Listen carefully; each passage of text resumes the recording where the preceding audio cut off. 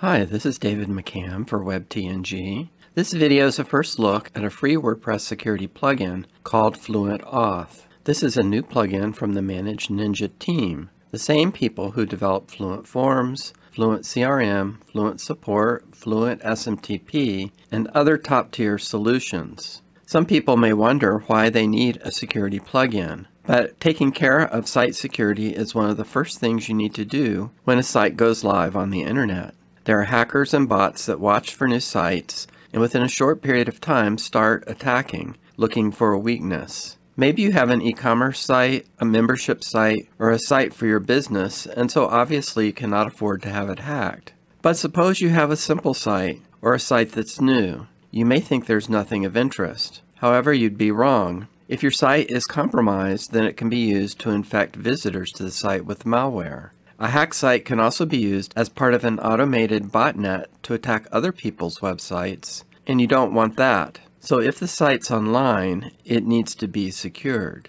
So first we're going to do a walkthrough so you can see what the Fluent Auth plugin offers, and then we'll have some discussion and conclusions. If you like the video, please subscribe. It helps to spread the word about the channel. Here's the Fluent Auth plugin on the WordPress plugin directory. Can see it's brand new, has fewer than 10 active installs. Here it has a list of the main features. There's email-based two-factor authentication, magic login, that's where they send you a login link, social login, limit login attempts, dynamic login redirects, audit logs, some security enhancements, some email notifications, and it's fast. And we'll walk through and take a look at these just a moment.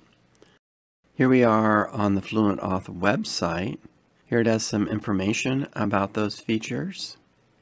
It also has some help, a getting started article, how to do login, logout redirects, register login shortcodes, and configure login with GitHub, which is their first social login.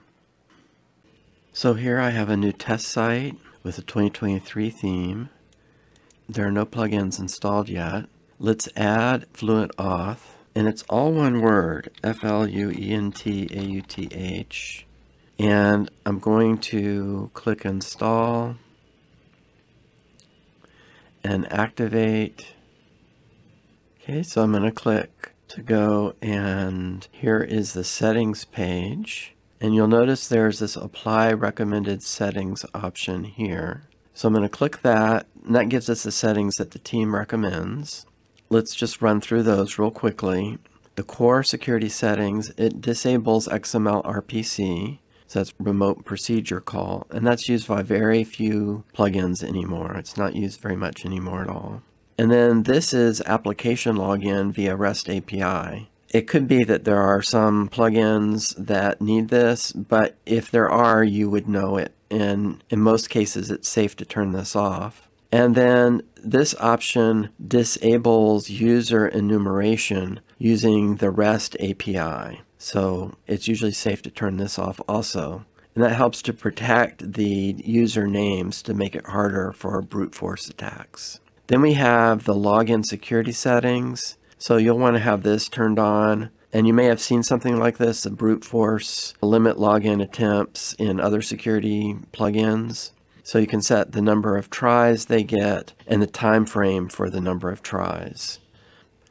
And then this is magic login. If you enable this, then you can set the roles that you want to offer it for and all the roles on the site are listed here.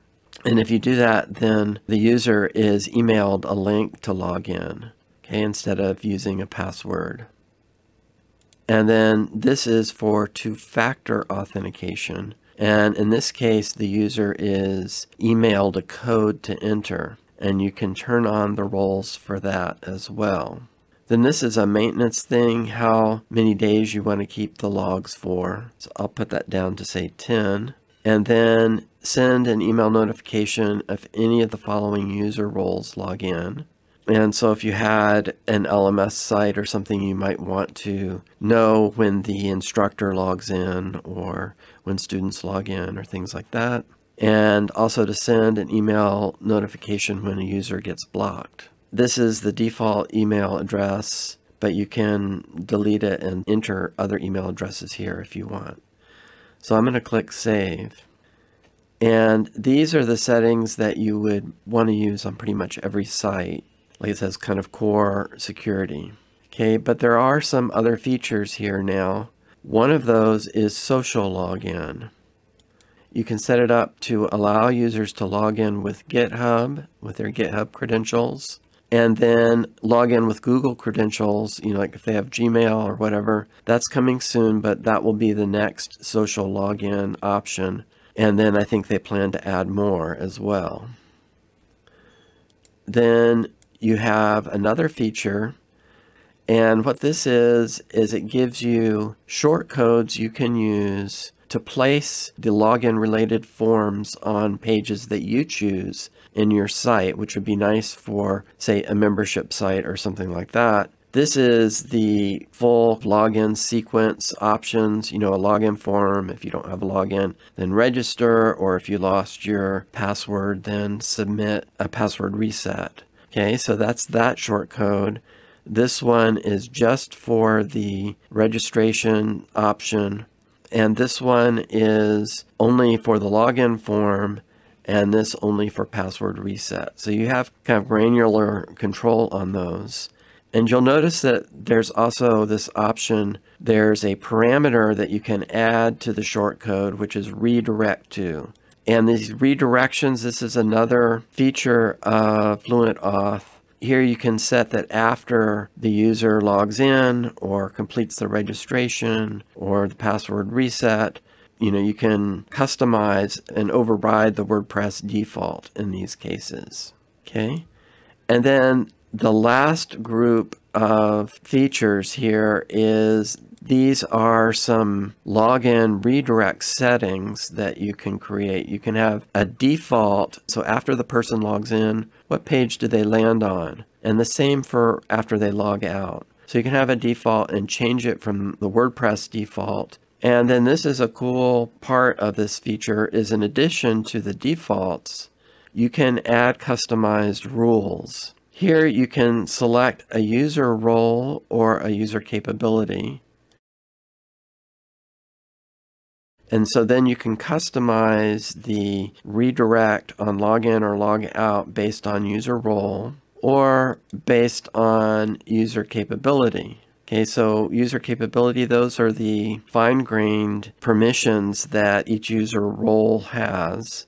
So you can have kind of a different set of login redirections for each user role.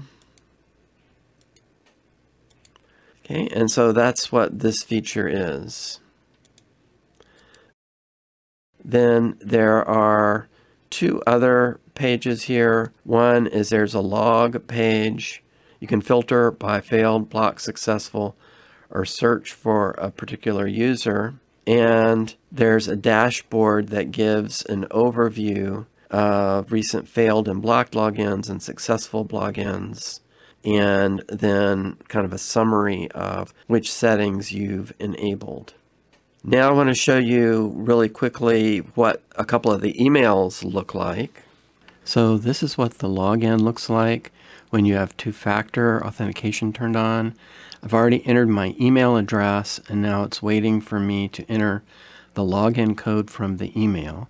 So let's look at the email. Let's see, this is what the email looks like and it gives you the login code in the subject line, which is nice. It makes it a little faster to pick it up. But basically, I'm just going to copy this back here and paste it in. And we're logged in. So that's what the two-factor authentication looks like. And now just so you can have a look at it, this is what the login success email looks like that's sent to the admin. That's the walkthrough of the options that we have with Fluent Auth in this first version. Now for some discussion and conclusions. The Manage Ninja team has a number of websites, you know, one for each of their products. And the Fluent Auth plugin was created for use on their own sites. So that's good news because that means, in the speak of software developers, that they're eating their own dog food, or in other words, they're using their own plugin on their websites. So it's gotten some polish and some real world use on some busy websites before it was offered in the WordPress plugin directory. Now, when we walk through the different setting screens, I notice that there are four sets of related features. The first is that there's the brute force login protection of the login form, as well as the options to disable XML RPC and the REST API application login. Also, the ability to disable user enumeration via the REST API. Now, these are features that pretty much every WordPress site needs. The second feature is the option to allow logins using credentials from other popular social network websites. This is a nice convenience for users because it cuts down on the number of logins that the user has to keep track of. Currently, it's only possible to add GitHub as an option, but authentication using your Google login is coming soon. The third feature is the ability to use shortcodes to place the login related forms where you want to put them. And for each of those types of forms, you can have a custom login redirect or log out redirect option. So you can control the page the user goes to after those actions. The fourth feature is the ability to set a default redirect and the ability to customize the redirect URLs by user role or user capabilities. So from a high level, those are the features that are currently available. Now, the Fluent Auth plugin doesn't include every possible security option that's out there that you may have seen in other security plugins. I think the idea was to stay focused and lean. My understanding is that the plans for the future are first to add more social login options and add more options for redirects. Things like redirect based on a Fluent CRM tag, a particular course the user might be enrolled in, or maybe based on a WooCommerce product purchase. So that's kind of the discussion. And now these are my conclusions.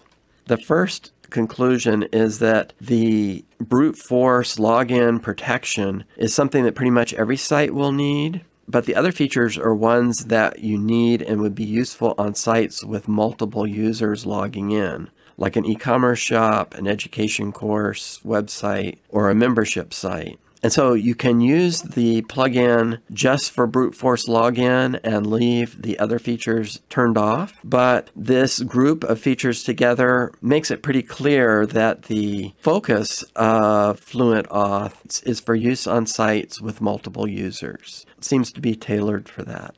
And so finally, I think this is a new plugin, but I believe they're going to be developing it rapidly. And since it's coming from the Manage Ninja team, we can trust that the plugin is well coded. They have a good reputation and a lot of talent. So if you have a site with multiple users and you want these types of features, then Fluent Auth is going to be a good plugin to check out. So that's my walkthrough and first look at Fluent Auth. There's a text version of the video available on the WebTNG website, along with other walkthroughs, reviews, and resources. Hope you found this video useful. Thank you for watching.